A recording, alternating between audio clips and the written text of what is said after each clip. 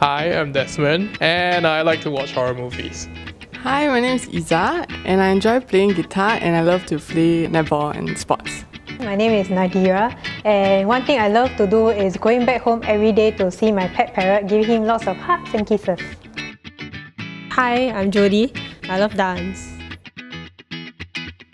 Hi, I'm Nawira and I like writing.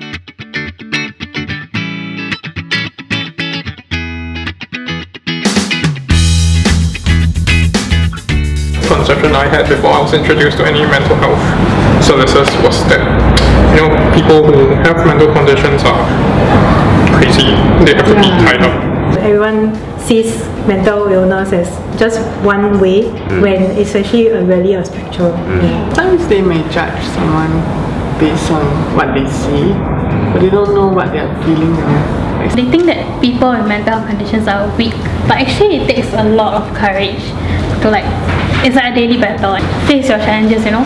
People with mental conditions are actually stronger and much more courageous and resilient mm. than we think. The current workplace, when I came in, I actually did disclose because I didn't want to be hiding my condition and to be like hiding it because I'm shameful of it. It- It's very liberating, uh, like you don't really need to put on that mask for too mm. long sometimes. Yeah. Another part of recovery, which I find is very important, is also having goal in life. Mm. Because that goal, whether it's big or small, keeps you moving forward. I think recovery is also about not just surviving in life, you know, it's about thriving and doing the things we actually want to do. Because even people with mental health conditions have goals and dreams.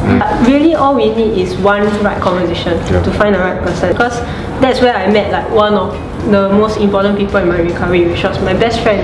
He has been there for me throughout everything, holding hope for me when I didn't, and pushing more hope for me when I had hope. Yeah, as you grow older, we realize that hey, it's okay to, to express your emotions. It's not just uh, for wi- girls or women per se. I think for guys, uh, it's very important to actually release your emotions and stuff. Showing or expressing emotions doesn't mean that you're a weak leader.